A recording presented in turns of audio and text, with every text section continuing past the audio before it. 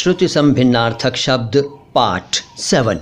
गुर। गुर का मतलब है तरीक़ा या तरीक़े मतलब उपाय। और फिर गुरु। गुरु का मतलब है बड़ा। वैसे टीचर को भी गुरु कहते हैं कि आप जानते हैं। इसके बाद गत और गति। गत का मतलब गुजरा हुआ, बीता हुआ। और गति का मतलब स्पीड।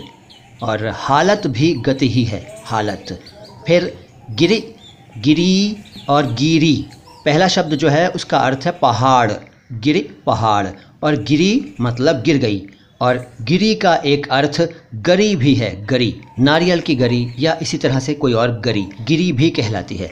फिर गिरी गिरी एक प्रत्यय है, जैसे दादागिरी इसके बाद ग्रह और गृह, ग्रह प्लैनेट को कहते हैं, जैसे चंद्रमा, मंगल वगैरह, और गृह घर, इसके बाद गदा, गधा, गद्दा और गंदा।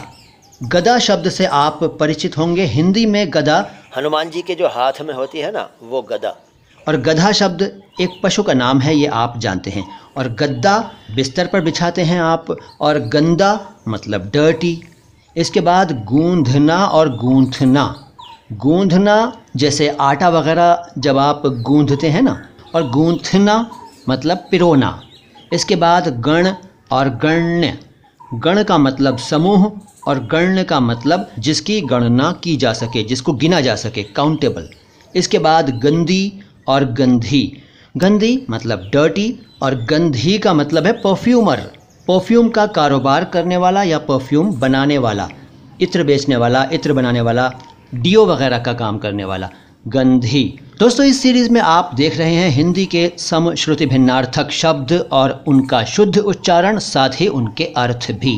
अगर इस सीरीज़ के पिछले वीडियोस आपने नहीं देखे हैं तो ज़रूर देखिए और अगले वीडियोस भी ज़रूर देखिएगा। आता हूँ कल लेकर कुछ और ऐसे ही शब्द।